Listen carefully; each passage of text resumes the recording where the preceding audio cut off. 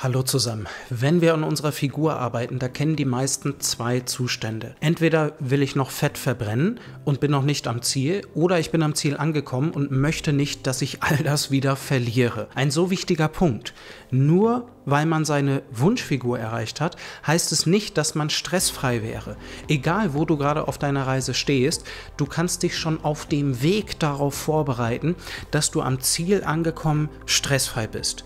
Der Preis für eine gute Figur ist zu hoch, wenn ich nur noch Salat essen kann und fünfmal die Woche Sport machen muss. Er ist auch zu hoch, wenn ich von Ängsten die ganze Zeit geplagt bin, äh, wieder zuzunehmen. Wie viel Stress wir zu unseren Ergebnissen haben, hängt nicht vom Ergebnis ab. Es hängt von anderen Faktoren ab, die ich mit dir in diesem Beitrag besprechen möchte. Jemand, der noch 20 Kilogramm abnehmen möchte, kann stressfreier sein als jemand, der schlank ist paradox, aber genau das kannst du für dich nutzen. Und ich kann mich noch sehr gut daran erinnern, wie es war, als ich eine wirklich gute Figur erreicht habe und über jede Mahlzeit nachgedacht habe. Das Thema hat meinen Kopf dominiert und genau das muss nicht so sein. Als ich damals ins Studium gestartet bin, konnte ich nicht wirklich kochen und hatte keine Ahnung von Kalorien. Ich stand nie mit dem Sport auf Kriegsfuß, aber dafür habe ich ja wirklich viel Brot und auch viel Pizza gegessen und ja, damals hat mich einiges motiviert, dieses Thema für mich zu verstehen. Ich wollte nicht der übergewichtige Arzt sein, wollte fit sein und mich in meinem Körper wohlfühlen und natürlich auch gute Gesundheit haben. Der geringste Preis Anfang 20 für mich war einfach eine Menge Sport zu machen. Kalorien zählen und keine Pizza mehr zu essen, das wollte ich zu dem Zeitpunkt noch nicht machen. Und so habe ich dann vier Semester teilweise gnadenlos viel Sport gemacht. Zum dritten Semester wusste ich, dass ich beide Schultern operieren lassen sollte und habe es ja für nach dem ersten Staatsexamen geplant, weil ich auch die Uni damals gewechselt habe, also eben nach dem vierten Semester. Mir wurde gesagt, dass ich mich auf ein bis zwei Jahre ohne Sport einstellen muss, was mich natürlich noch mehr angetrieben hat, vorher den Sport so richtig auszunutzen. Einige Monate war ich da zehnmal pro Woche im Fitnessstudio und da kann ich wirklich sagen, ich habe mir meine Ergebnisse zu der Zeit sehr hart erarbeitet. Sehr hart. Und damals habe ich schon gemerkt, dass ich irgendwo abhängig von diesem ganzen Einsatz war. Ohne den hätte ich die Ergebnisse nicht bekommen und hätte sie wieder verloren, wenn ich all das gestoppt hätte. Es kamen da Sorgen hoch, wenn ich nicht im Plan war und mein ganzer Erfolg hing ja schließlich an diesem ganzen Einsatz.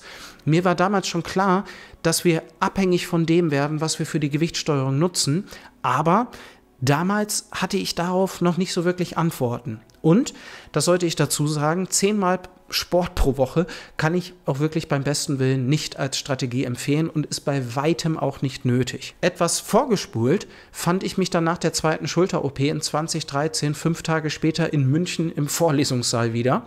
Ich hatte Schmerzen beim Gehen und musste sechs Wochen im halben Sitzen schlafen, weil das Liegen zu schmerzhaft war. Was habe ich gemacht? Vorher wollte ich es nicht, jetzt hatte ich keine andere Wahl gefühlt. Einerseits habe ich es aus, aus diesem Druck gemacht, auf der anderen Seite hat mich in all dem auch immer meine Neugierde in Richtung Medizin angetrieben. Auch eben das Bild, dass ich nicht der übergewichtige Arzt sein möchte. Dann noch eine ganze Menge Scham zu mir und meinem Körper so das Übliche.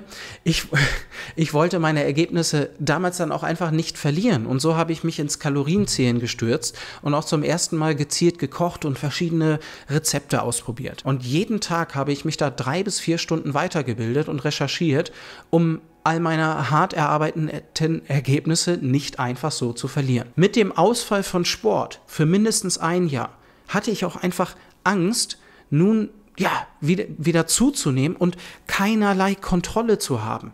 Und da kommen wir auch zum, schon zum ersten Kern zu dieser Emotion. In erster Linie ist es erstmal nur das Feedback deines Bewusstseins, dass hier eine Gefahr bestehen könnte. Es ist eine Eventualität.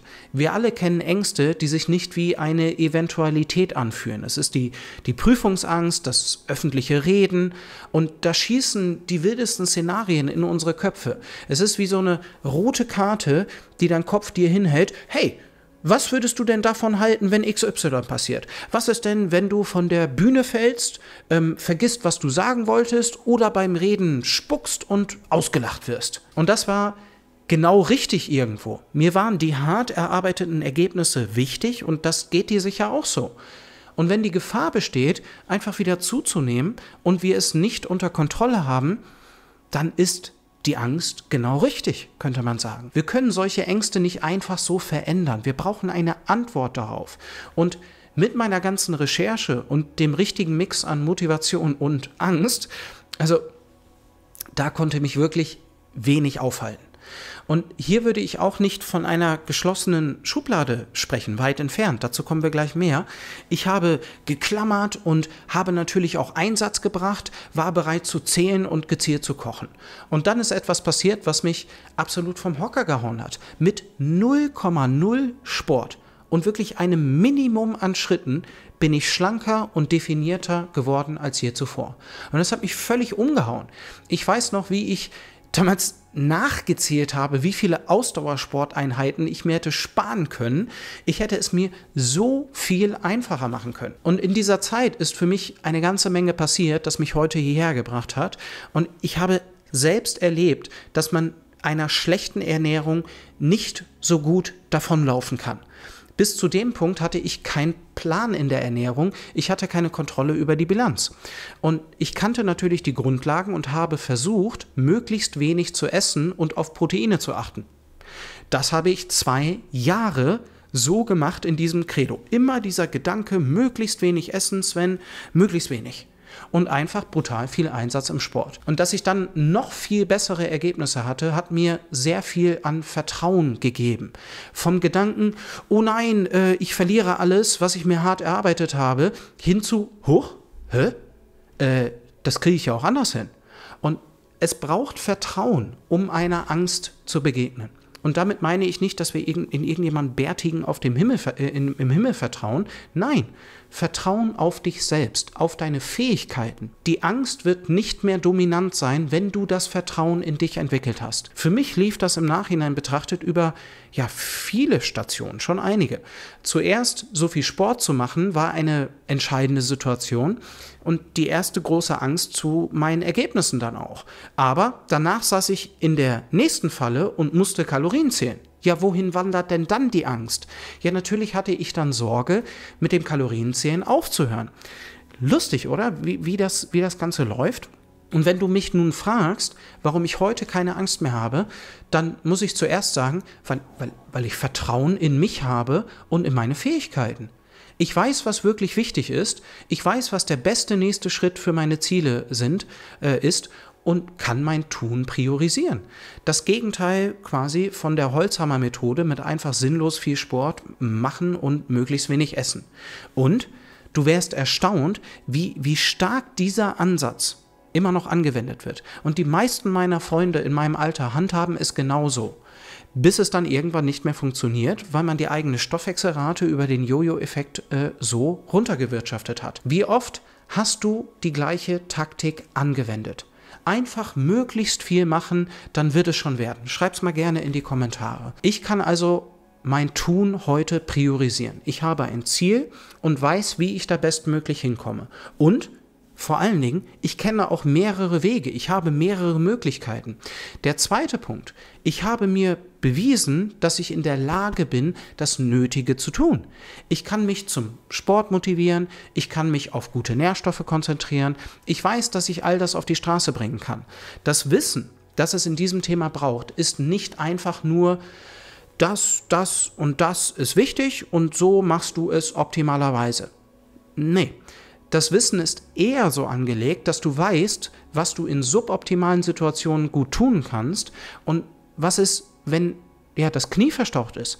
Nimmst du dann direkt zu? Was ist, wenn die Stimmung mal schlecht ist? Landen dann zuhauf Süßigkeiten im Mund, um mit dem Stress umzugehen? Was machst du im Urlaub? Was ist in der Weihnachtszeit? Unsere Aufgabe in diesem Thema ist, diese miesen Zeiten und schwierigen Zeiten genauso zu meistern äh, wie den Alltag oder die Weihnachtszeit. Zeiten mit eben viel Genuss. Und das Wissen ist eher, wenn ich den halben Kuchen hier an diesem Wochenende verdrücken will, wie kriege ich das hin und erreiche meine Ziele mit meiner Figur?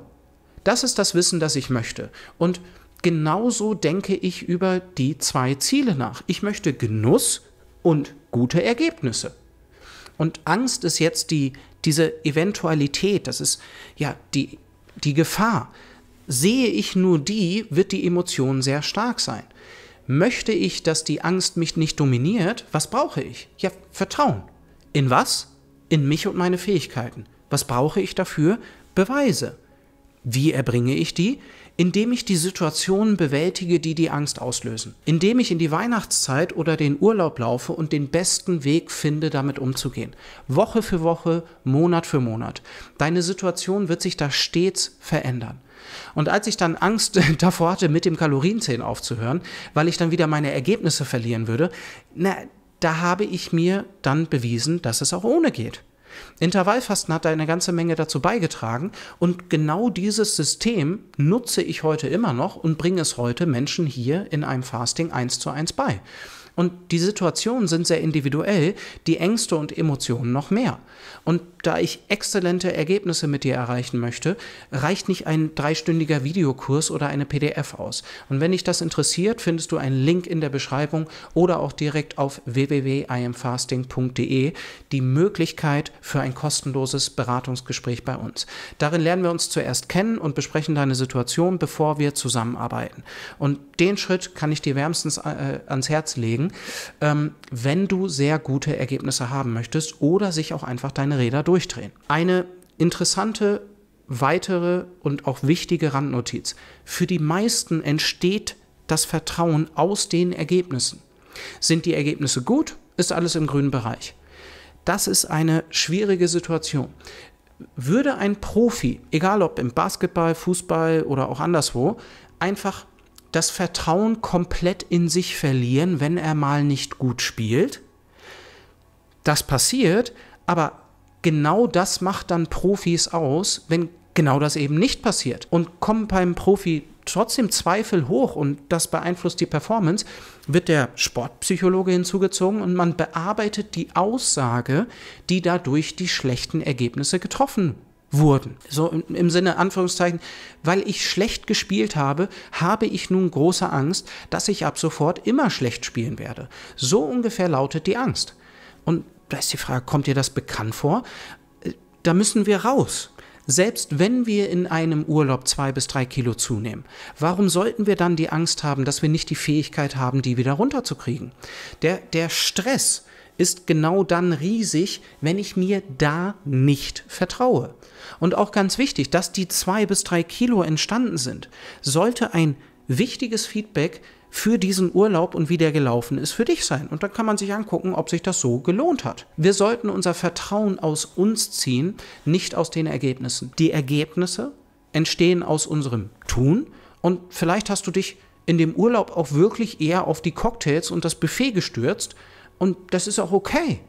Das Ergebnis zeigt dir, was dein Tun dir gebracht hat. Das Vertrauen in dich und in deine Fähigkeiten erklärt dir, dass du keine Angst oder Stress dazu haben musst. Und so erlebe ich heute das Thema. Obwohl ich auch jemand war, der nicht nur wirklich schambehaftet war, sondern auch wirklich keinerlei Ahnung hatte. Ich habe mich dadurch dieses Problem durchgearbeitet, bin von Station zu Station zu Station, von viel Sport zu gar keinem Sport, von keiner Kontrolle in der Ernährung zu sehr viel Kontrolle mit Zählerei und dann wieder zu einer sehr laxen und flexiblen Umgangsweise, die ich heute lebe. Mit den Ergebnissen, die ich haben will. Und vor allem stressfrei, Schublade geschlossen. Du wirst nie erleben, dass ich irgendwo nicht zugreife, obwohl ich das wirklich gerne machen wollen würde. Da muss ich, da muss ich innerlich fast lachen, dass das, dass das überhaupt geht. Dass, dass man diesen Zustand erreichen kann. Das ist so wirklich, wirklich eine schöne Sache. Und wenn ich Dinge machen will, dann mache ich die. Und wenn ich zunehme, habe ich keinen Stress, weil ich auf mich vertraue und meinen Kurs dann einfach wieder anpasse. Ich kann gar nicht betonen, was das für eine Befreiung ist. Und weil ich genau das erlebt habe, neben den guten Ergebnissen, mache ich diese Arbeit. Die Frage für uns beide ist nun, wie kriegen wir das für dich hin?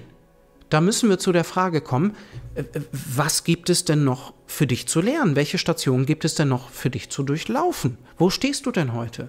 Und da könnte der erste Schritt überhaupt sein, zu sehen, ohne was du in diesem Thema niemals auskommen wirst. Erstens die Kalorienbilanz. Zweitens, dein Verbrauch in Ruhe, deine Stoffwechselrate, auch beeinflusst durch deine Muskelmasse, aber nicht nur. Ein niedriger Verbrauch bedeutet, dass du dich sehr viel besser für die gleichen Ergebnisse verhalten musst. Schwierig. Drittens, Hunger und Sättigung. Viertens, Phasen, in denen man keinerlei Zeit für dieses Thema hat. Was machst du dann? Fünftens, Verletzungen, Urlaube, besondere Anlässe. Deine Situation wird sich immer wieder verändern. Kannst du darauf antworten? Sechstens, deine Motivation und ja auch deine Disziplin. Die Frage, warum man manchmal weniger Schwierigkeiten hat, zum Sport zu gehen und manchmal gleicht es einem unüberwindbaren Berg, ja, zu diesem letzten Punkt, da feile ich gerade einen Beitrag aus, der sich um Dopamin und die unterschiedlichen Gehirnareale dreht. Etwas, das mir sehr viel geholfen hat, mich selber besser zu verstehen. Der wird da zeitnah kommen, also gerne den Kanal abonnieren, um den nicht zu verpassen. Und als Bonus unterstützt du unsere Arbeit immens mit deinem Abonnement. Dankeschön. Der andere Ansatz ist, genau hinzuschauen, wo noch Ängste sind. Was, was ist denn, wenn du mehr Stress im Beruf haben solltest? Was verändert sich in deinem Verhalten? Was wäre, wenn du ohne Kalorienzählen durch den Alltag gehst? Was weißt du, wie du trotzdem eine gute Übersicht hast und wie du gut abnehmen kannst? Hast du, hast du trotzdem einen guten Überblick über dein Verhalten? In welchen Situationen kommt denn die Angst wirklich hoch? Wenn du mal nicht im Plan beim Sport warst und kannst du dann deine Ernährung anpassen als Reaktion darauf. Die meisten werden sich in der Winterzeit auch weniger bewegen und das Thema steht einfach nicht still über das Jahr. Und wenn du den Drang spürst, deinen Plan immer korrekt durchziehen zu müssen, kann das überhaupt die Lösung sein? Ein Plan? Ein, ein Plan, der dir dein Ess- und Sportverhalten vorschreibt? Ist, ist das die Lebensqualität, die wir haben wollen?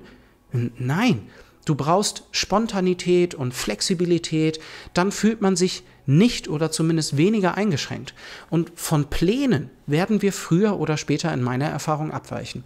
Du brauchst etwas Alltagstaugliches in, in der Handhabung und mal gibt es mehr Kalorien, mal weniger und das ist okay.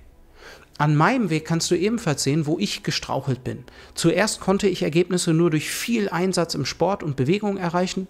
Gut, wollte ich auch so. Dann kam die Ernährung dazu, aber nicht wirklich alltagstauglich, Kalorien gezählt und natürlich kamen Sorgen hoch, wenn man mal essen gegangen ist oder Pizza bestellt hat. Also, wenn in diesem Thema Angst herrscht, egal ob du ja, während der Abnahme oder dann beim Gewicht halten, der Mechanismus, der ist der gleiche. Und die Antwort, die muss sein, dass du das Steuer in der Hand hast. Es geht darum, Vertrauen in sich selbst zu haben. Es geht um möglichst wenig Energieeinsatz für möglichst gute Ergebnisse. Es geht um einfache und alltagstaugliche Stellschrauben. Kommt die Angst hoch, stell dir die Frage, worauf sie zeigt. Und dann leuchte da genauer hin und untersuche, ob die Angst gerechtfertigt ist. Und das Schöne ist, die Angst, die ist genau das Feedback, das du brauchst. Und du wirst keine Angst mehr haben, wenn du sie nicht mehr brauchst. Also hab den Mut, die nötigen Steine umzudrehen, dein, deinen Umgang, deinen persönlichen Umgang damit zu finden. Unsere Teilnehmer, die nutzen unter sich die Stellschrauben auch absolut unterschiedlich. Und jeder Teilnehmer nutzt jede Woche auch unterschiedliche Stellschrauben zu einer unterschiedlichen Intensität. Ich brauche aber einfach mal die Möglichkeiten. Ne? Und so eine Lösung braucht es in meiner Erfahrung. Und du musst selbst am Steuer sitzen und auch genau das Gefühl haben, selbst das Steuer kontrollieren zu können. All das kannst du dir selbst erarbeiten oder die Abkürzung nehmen und einen kostenlosen Beratungstermin mit uns vereinbaren. Den Link dazu findest du unten in der Beschreibung. Wir freuen uns auf dich und ich hoffe, dass der Beitrag dir einige wichtige Impulse gegeben hat. Danke für deine Aufmerksamkeit und bis zum nächsten Mal.